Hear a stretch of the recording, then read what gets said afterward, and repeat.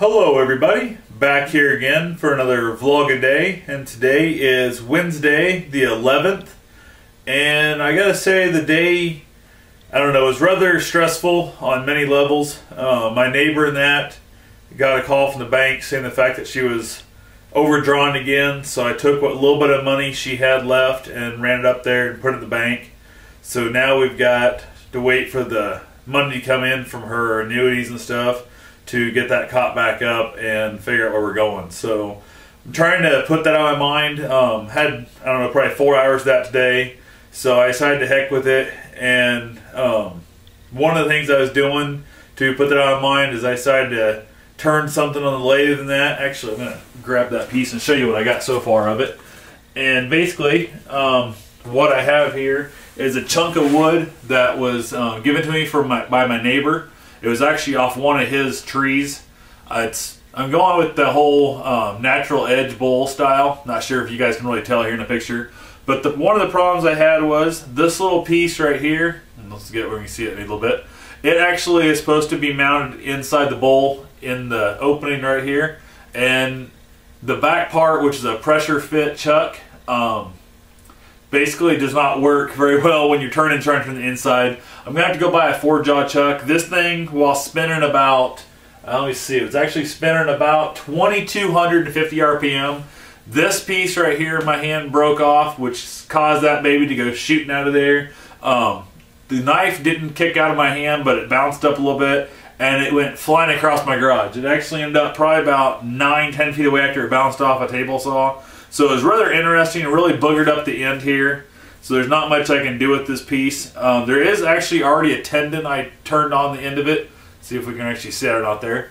I'm hoping it's long enough. If I actually get a four jaw chuck, I'll be able to put it in there and maybe actually turn the center out a little better. I wasn't paying attention. I kind of whittled this down a little bit too small, which really was my main problem, I guess. But anyway, um, not much else I can do at this the moment except just wait till I get a four jaw chuck or throw it in the wood stove. But it's got a really cool grain on it. Um, it's kind of funky looking and stuff. Just a really neat little piece of wood. Like I said, it came out of my neighbor's yard off one of his trees that he cut down a while back. It's doesn't look at all round because the natural edge. It actually looks extremely oval, but it's not. It clearly is just as round. But the bark, it throws your eyes off. So it's kind of a neat little piece. Unfortunately, when it come flying off there, a lot of the bark got busted off and the bouncing across the room. So I'm not sure how it's going to stay, how well it's going to do, I guess, as a natural edge bowl because I'm going to lose a lot of the bark, which is where most of the beauty is in a natural edge bowl. So I guess I'll have to just wait and see what I come up with if I ever get a four jaw chuck. I was hoping to go to Des Moines today with my mom, uh, look for her another car. She's getting tired of driving her old Toyota and she didn't feel like going today again, so we kind of put it off. I keep searching Craigslist and that. I found a, a few different ones that I think might be an alright deal, but nothing that's an amazingly great deal. If there was one of those, I would just kind of encourage her to go up, or else I might even just say to hell with it, go up without her. Um, if I find one I think that is a good enough deal, I'll just buy it for her and bring it home and tell her that's in her new car. So she's actually had that happen to her numerous times by me and that. So one of those things, and she also ended up with a um, old. It was my cousin's old car from her college car that basically my aunt, her sister, kind of encouraged her. You know, if she was interested, she didn't really have a choice in picking it out either. She could have clearly said no, I don't want to buy it, but she kind of last few cars she's kind of gotten has been kind of dumped on her. So the Toyota I went and bought for myself as a toy to play with, and I got it home. I hadn't even come off the trailer yet, and I stopped by the house, talked to her, and kind of shown it to her after I'd been on the road for about seven hours round trip that day, going to pick it up and back.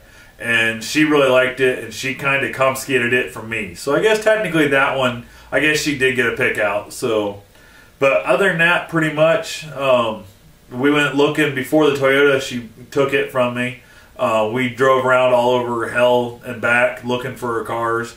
And I'm not really looking forward to that immensely because she's kind of picky, but she's got an extremely cheap budget. So it's one of those things she don't want to spend any money, but she wants really nice, super clean cars, and she could really care less about the mileage, about you know the style. She don't care if it's an old Yugo. Long as the thing has super clean non uh, interior and there's no tears and rips in it. So that's pretty much what she's after is no tears and rips in her interior.